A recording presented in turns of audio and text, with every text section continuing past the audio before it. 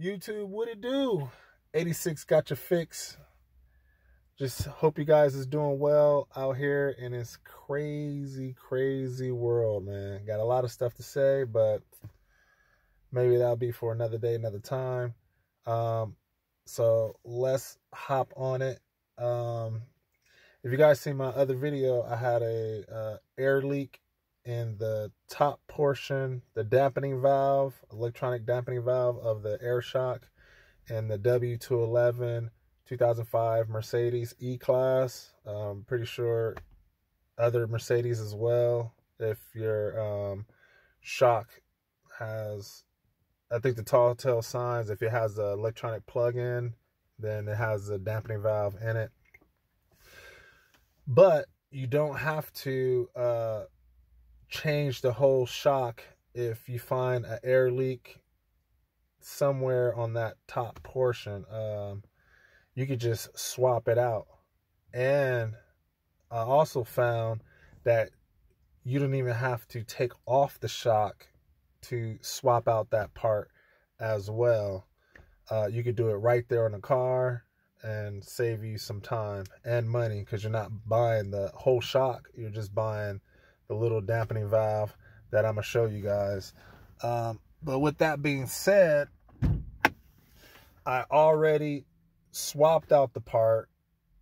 Uh, I made a video, had my tripod all set up, and the angle was a little bit off because I was rushing to get done that I didn't quite catch the the shock in the frame. So my bad. But at least I can talk to y'all and um, I can walk y'all through it because there's no videos actually showing uh, this being swapped out, which sucks because I wanted to get that out there. So uh, let's hop to it and I'll show you guys how to do it and what to do. So, uh, it's gonna be a quickie. Let's pop the hood.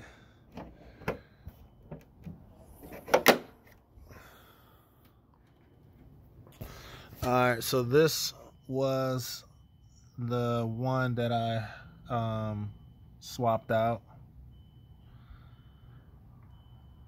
And it's this dampening valve. This piece comes off. You do not have to uh, uh, take off the whole shot.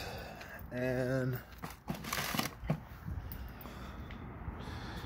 here goes the part and what it looks like. And if you see my other videos, um, it was a slow leak right at this top portion. So basically, like, uh, you know, you sit overnight and I come out the the suspension on this side was very low. You know, I can drive around the whole day, a few hours, the car can sit no problem. But when it sits like eight to 10 hours, I had a problem. So I bought this piece and as you see, taking it out, you're going to cause some uh, scrapes, scuffling. Um, if you want to, there's three of these notches. So there's definitely a special tool. I don't know why this camera's not focusing that good. There's three notches. So there is a special tool. Um, but I'll show you what I use. Pretty much just big old channel locks that can fit in this notch and turn it. Now, you guys are on your own. So the shock is under pressure. Make sure you release all the air air out the shock. So you're gonna need a 10 millimeter, take off your airline, disconnect your electrical plug. Now they say with the 9 volt battery, I was unsuccessful, but there's three pins. The one at the bottom and the one at the middle if you jump that with a 9 volt battery it will open up this dampening valve which you can see it right here. But I can push down on this and that's what opens and there's uh, probably like a cause a magnetic field that pulls up this plunger and it opens to let air in and out. Uh, I was unsuccessful with um, jumping. I felt like I wasn't getting enough power. I could have used another battery to release the air out of the shock. So what I did use was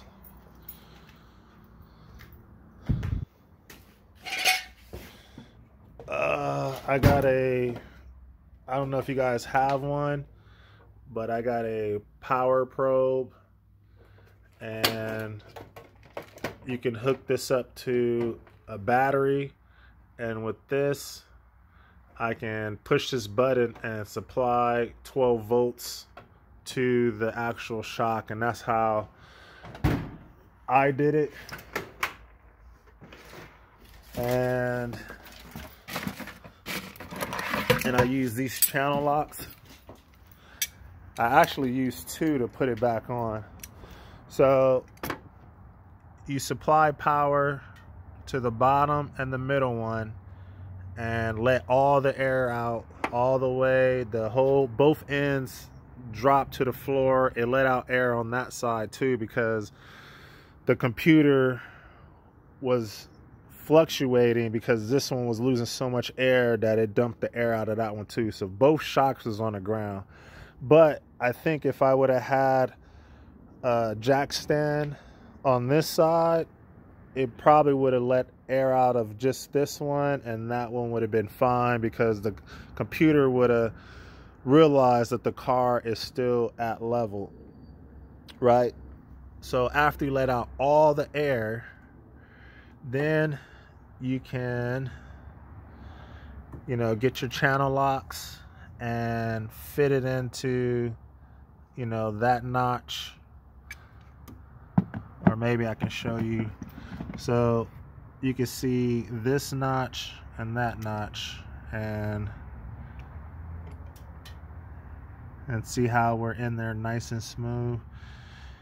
And it's only like a quarter turn uh, counterclockwise and as you see uh, this is where it stops so when you open it, you're going to quarter turn and then it's going to hit this back part. And then that's when you just pull it straight up. So the orientation of this plug is like this, right? With the airline. So you're going to quarter turn it, boom, to about right there. You'll feel where it stops. And then you just basically pull it up and pry it out. Now, be careful because this unit did not come with any uh, O-rings. There's one here, there's one here, and then there's a teeny one that rides right here. And this teeny one, I think, is more of like the gas, or not gas, dust, keeps the dust from getting down in there. So when you pop it, now when you do that half quarter turn, now you're trying to grab and pry it up. And you can sort of see the gasket. So if you're going to be reusing your O-rings, you don't want to destroy it. But in order for me to get this out, I then had to get um, a flathead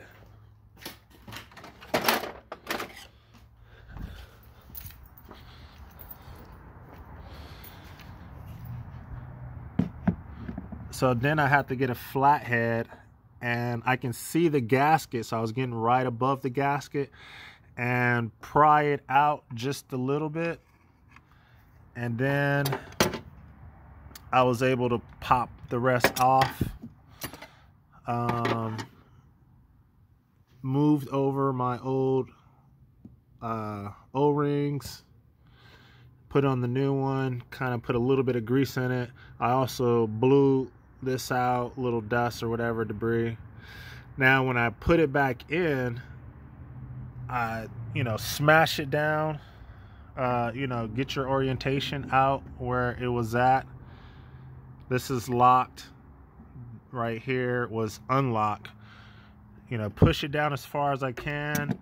Then I, I tap the corners with the rubber mallet and it was very hard to uh, lock it in.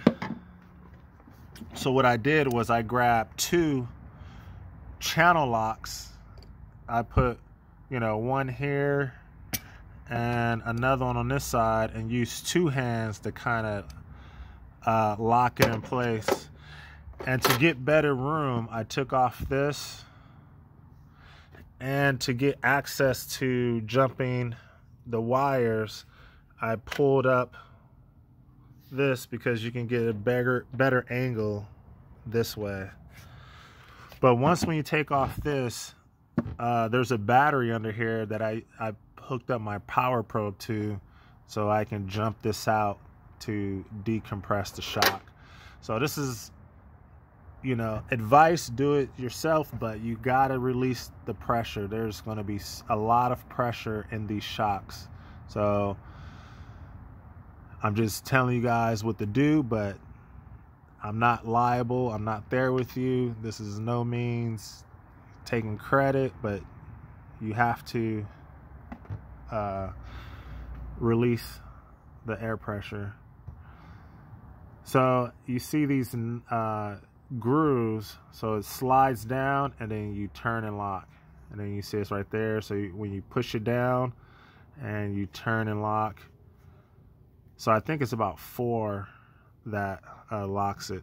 So just be careful because there's a real thin o-ring right here that you can destroy if you were prying and digging and you and you destroy it with the the flathead so be careful on that.